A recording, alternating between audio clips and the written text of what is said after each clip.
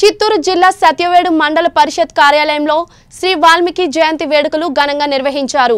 వాల్మీకి మహర్షి జయంతిని పురస్కరించుకుని ఎంపీపీ ప్రతిమా సుశీల్ కుమార్ రెడ్డి అధ్యక్షతన మండల పరిషత్ కార్యాలయంలో ఎంపీడీఓ సురేంద్ర ఆధ్వర్యంలో వాల్మీకి జయంతి ఉత్సవాలు జరిగాయి.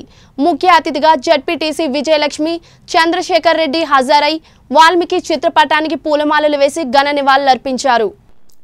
ఈ సందర్భంగా ఎంపీపీ ప్రతిమా సుశీల్ కుమార్ రెడ్డి మాట్లాడుతూ వాల్మీకి మహర్షి పేరు వినగానే ప్రతి ఒక్కరికి శ్రీమద్ రామాయణం గుర్తుకు రావడం జరుగుతుందన్నారు. జీవన విధానాలు ప్రాంతాలను బట్టి వ్యత్యాసమున్న కాలాన్ని బట్టి మారిన అందరికీ అన్ని కాలాలకి ఆలోచన చక్కని ప్రవర్తనకి ఉపయోగపడే విజ్ఞాన సర్వస్వం శ్రీమద్ రామాయణ అన్నారు. భారతదేశంలో కుటుంబ వ్యవస్థ పటిష్టంగా ఉందంటే శ్రీ వాల్మీకి మహర్షి రచించిన రామాయణమే అన్నారు.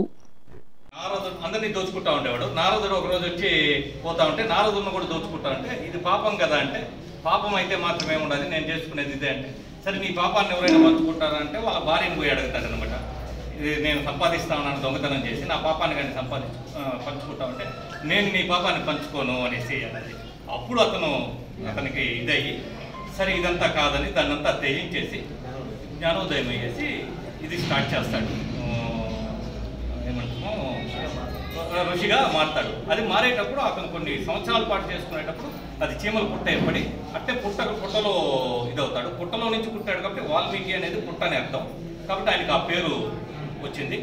ఆ తర్వాత వచ్చి బ్రహ్మ కానీ ఈయనకి బోధించాలనుకుంటే రామాయణ పదం ఉచ్చారణ రాకపోయేవాళ్ళకి దానికి ఎంతో కష్టపడి రామాయణ పదం తెప్పించేదానికి కృషి చేస్తారు. ఆ తర్వాత వాల్మీకి వచ్చి రామాయణాన్ని చక్కగా మనందరికి అర్థమయ్యేటట్టు దాంట్లో ఉండే కథల్ని అన్నిటినీ రచించేస్తారు ఆ మహనీయుని ఈరోజు పౌర్ణమి రోజు మన ప్రీతమ ముఖ్య వ్యాస పౌర్ణమి రోజు ఈరోజు మన ముఖ్యమంత్రి ప్రీతమ ముఖ్యమంత్రి జగన్మోహన్ రెడ్డి గారు దీన్ని ఒక అఫిషియల్ ఫంక్షన్ లాగా సరే అఫిషియల్ ఫంక్షన్ లాగా జరుపుకునేటట్టు చేయటం కూడా ఇదందరికీ కాబట్టి ఈరోజు మనమందరము ఈ వ్యాస ఈ వాల్మీకి జయంతిని సందర్భి జరుపుకుంటున్నాం జరుపుకుంటా ఉన్నాం.